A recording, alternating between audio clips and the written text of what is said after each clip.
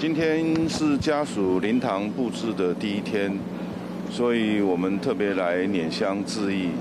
另外，也要向家属报告啊治丧的相关事宜。也当然，其中也有家属一些意见，我们要彼此的来合治。那我们希望以最尊荣的方式、荣从的方式来送别我们的同仁。那当然，这样的哀痛的事情，我们再一次表达。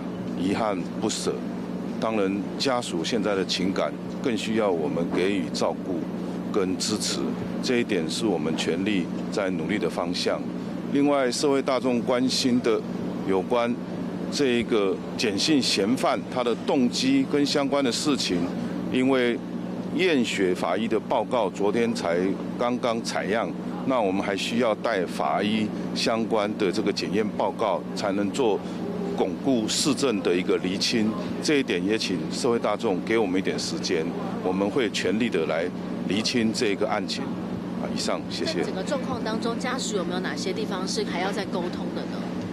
呃，目前是我们跟家属在互动上并没有特别的问题，家属只是现在情感上的冲击是比较大的，所以这一点也希望大家。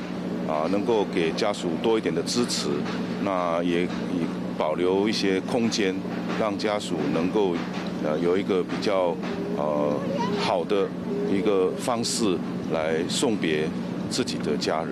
毒品跟酒精的化验大概至少需要多长时间？如果是快件的话，我们初步我的刑警大队大队长给我的说明跟报告大概是要两周，但是我们也跟这个。相关的单位希望能够加速来办理。也是不是去年才从警专分发到我们这边发对，他是分发到我们这边完成实务训练，是在去年的十二月底啊完成，所以他是一个已经所谓合格实受正式的一个远景身份。他上班的状况嘞，你们了解到的？他非常积极认真，而且是一个。啊，乐观开朗、阳光的男孩，我们深深的表示非常的遗憾，这么年轻的生命就此陨逝，是也是我们警界的一个损失，也是社会的一个损失。了解他妹妹是不是也是在警专受训的？呃，是的，他是在警专呃四十一期受训的，正在受训的呃学员。是的有被影响到吗？